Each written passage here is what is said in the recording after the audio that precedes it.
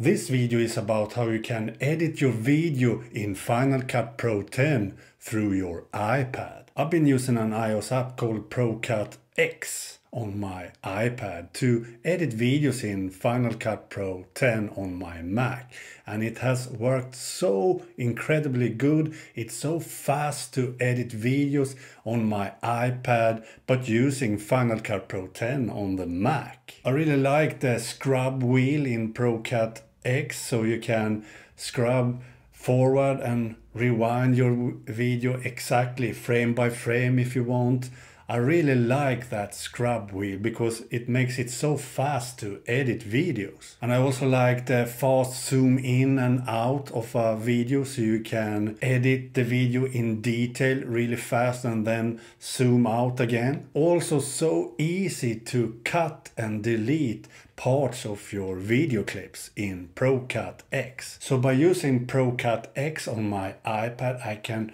lay down very comfortably in my bed in my bedroom and edit the video on my MacBook Air that is connected to my 40 inch HD TV.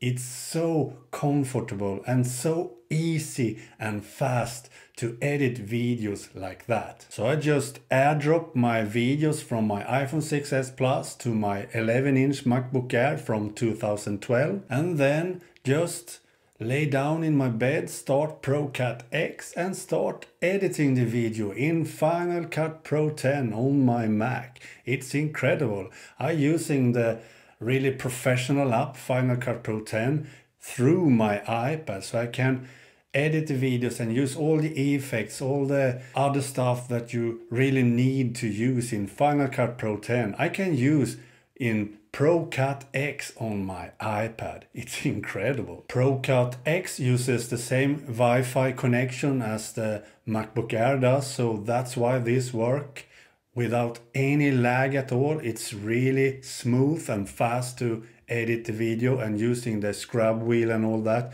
You don't see any lag at all. It feels like you're actually editing the video on your iPad. It's incredible. I can highly recommend ProCut X for your iPad. And in the very few times I really need to navigate with a mouse or something, I use the mobile mouse app on my iPhone. So I can have uh, the mouse or the trackpad in my iPhone 6s Plus using the mobile mouse app while recording the video in ProCut X on my iPad and this works so good. It's actually way better for me than using a physical hardware keyboard and a real mouse because I can be anywhere in my room.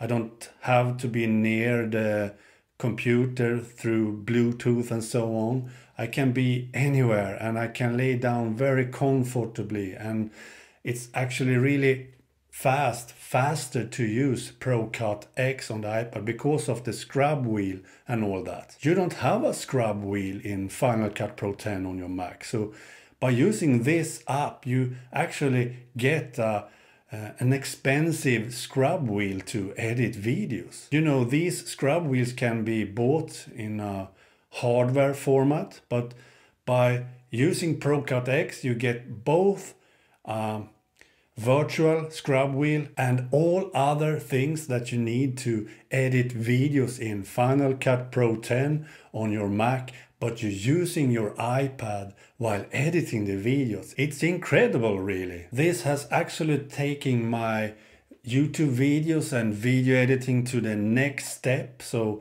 I think my videos will be a lot better now and have a lot more features in them and more effects and better texts on top on the videos and all that and I can more easily and faster cut away long parts where I have pauses when I don't say anything and so on and I can cut away a few frames between the words I'm saying so I can speed up the video for you and so on all these things are much easier and faster to do with ProCut X on my iPad while using Final Cut Pro 10 on my Mac. So once again I can highly recommend using ProCut X on your iPad to edit videos in Final Cut Pro 10. So It feels actually as you have Final Cut Pro 10 on your iPad. It's so good.